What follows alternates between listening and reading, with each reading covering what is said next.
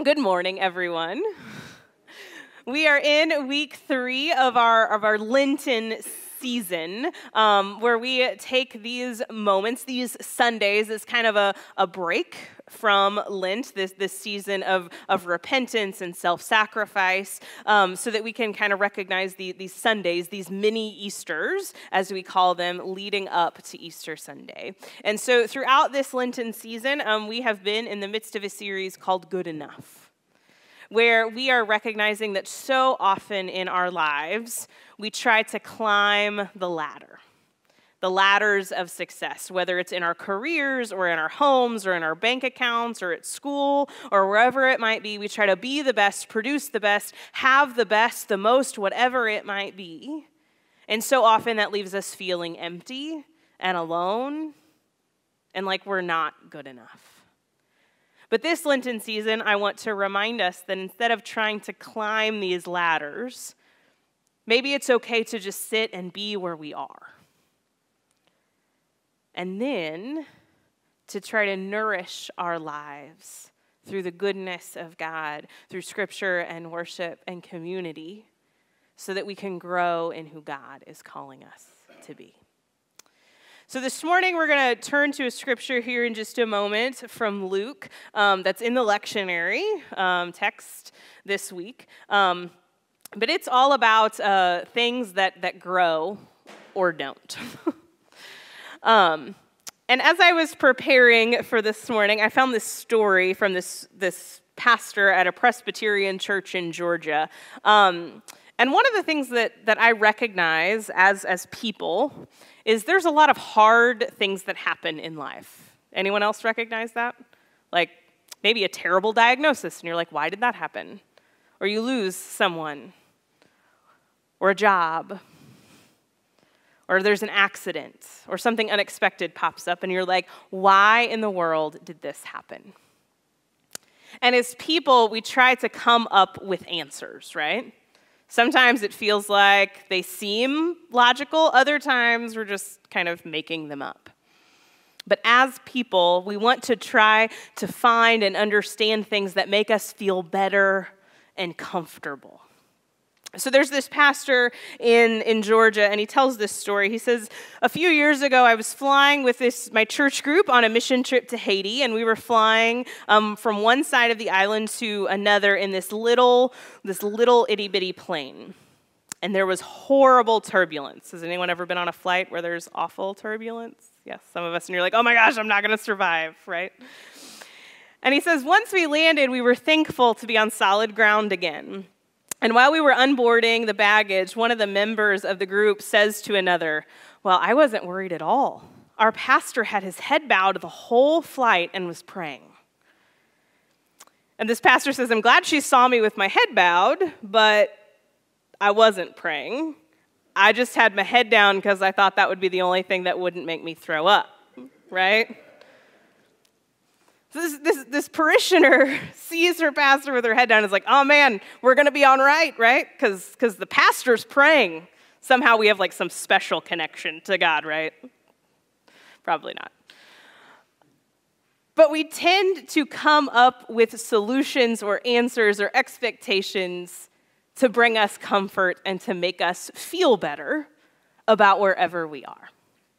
And a similar thing happens in Luke's gospel this morning. There's all these people who are around Jesus and they're asking them these questions. And they're saying, well, did all of this bad stuff happen to this group of people over here because they're bad people? And another way to ask that question is, well, that's not going to happen to me, right? Because I'm not that bad. So bad stuff can't happen to me. And it's a way of bringing in comfort to make yourself feel good, even if that's not really reality. So we're going to read from Luke's gospel this morning. It is in the tradition of our church that we stand for the reading of the gospel. If you have your Bibles, I encourage you to open it up to Luke chapter 13, and we're going to read the first nine verses of this chapter. It says, At that very time, there were some present who told him, him meaning Jesus, about the Galileans whose blood Pilate had mingled with their sacrifices. And he said to them, Do you think that because these Galileans suffered in this way, that they were worse sinners than all the other Galileans? No, I tell you, but unless you repent, you will perish as they did. Or those 18 who were killed when the Tower of Siloam fell on them. Do you think that they were worse offenders than all the others living in Jerusalem? No, I tell you, but unless you repent, you will all perish just as they did. Then he told them this parable A man had a fig tree planted in his vineyard, and he came looking for fruit on it and found none. So he said to the gardener, See here, for three years I've come looking for fruit on this fig tree, and still I find none. Cut it down. Why should I be wasting this soil? He replied, Sir, let it alone for one more year until I dig around it and put manure on it. For if it bears fruit next year, well and good, but if not, you can cut it down. This is the word of God for the people of God. You may be seated.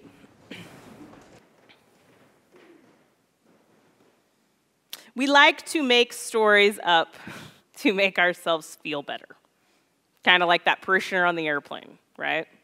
Ah, oh, we're going to be safe just because the pastor has his head down praying. That must mean all will be okay. And sometimes we provide excuses for our lives to try to understand why things are going the way they are. Similar things happen in Luke's, Luke's gospel. We hear that there are, there are those gathered around Jesus. And we hear that, that some of them, this group of Galileans, that, that Pilate has killed them. It says that he mingled their blood with their sacrifices. And so we assume that they were probably murdered by Pilate, right?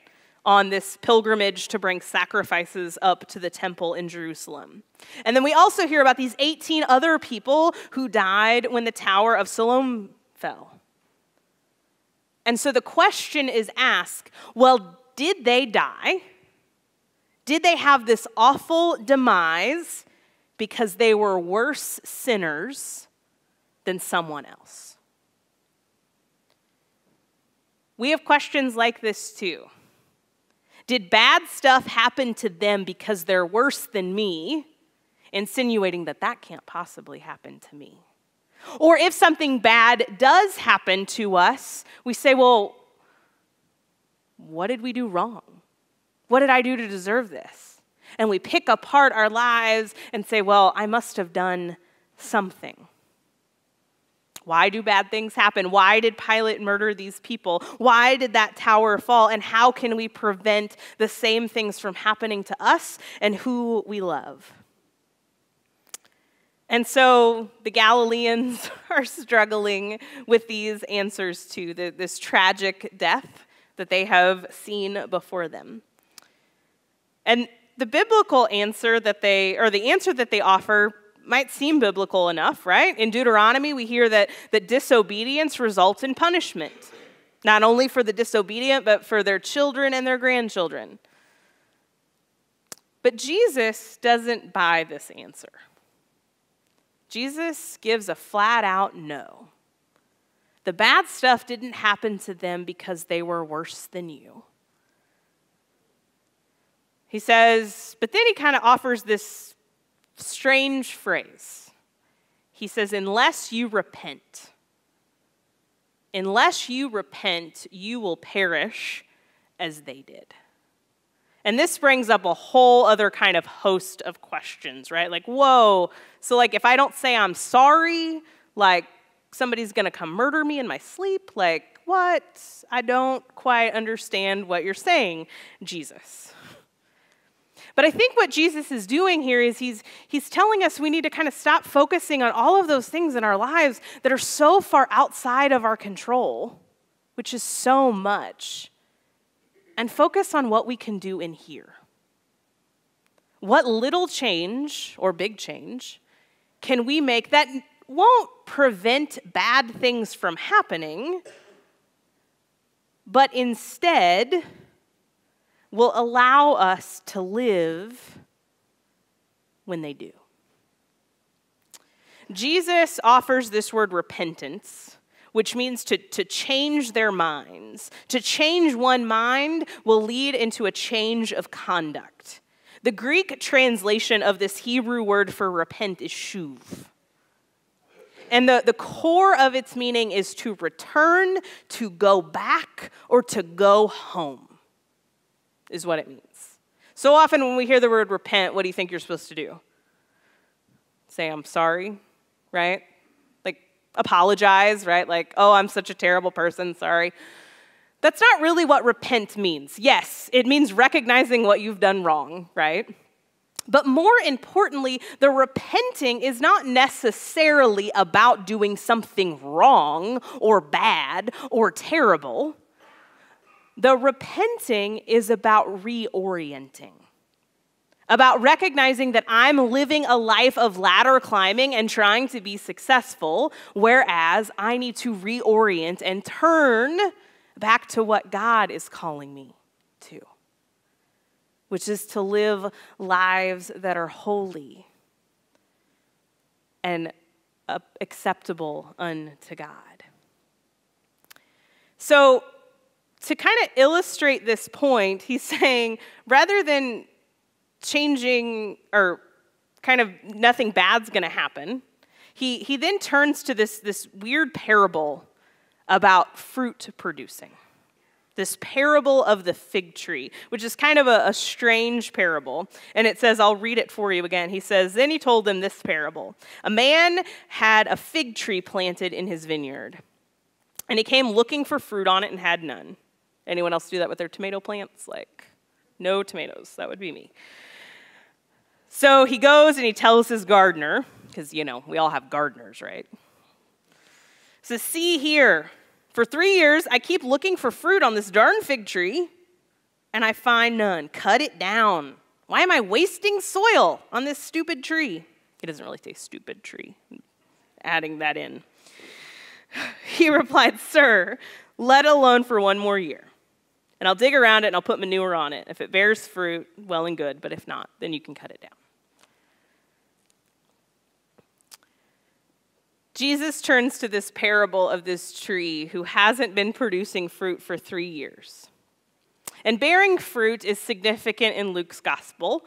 Um, John the Baptist in, in, in Luke 3 describes that, that that fruit will come if you repent. In the Sermon on the Plain in Luke 6, Jesus states that a good tree produces good fruit, and similarly, a good person produces from the goodness of their heart. In the parable of the sower in Luke 8, Jesus explains that those with good hearts will hear the word of God, hold fast to it, and patiently produce fruit. And so we kind of look at these parables as evidence to show that, that, that fruit is representative of our hearts. And if we repent and we reorient our lives to, to God, fruit will be produced.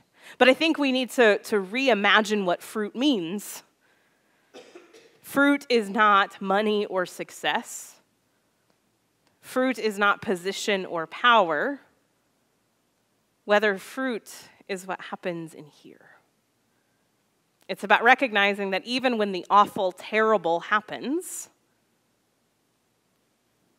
that the fruit we produce tells us that we are beloved children of God.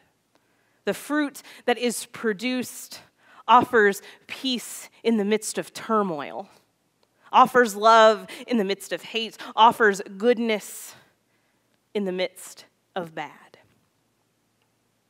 But so often, we want to look at life like that fig tree that unproductive, lazy fig tree that's just bad and awful. We just want to cut it down to make room for a more dedicated and hardworking fig tree, right?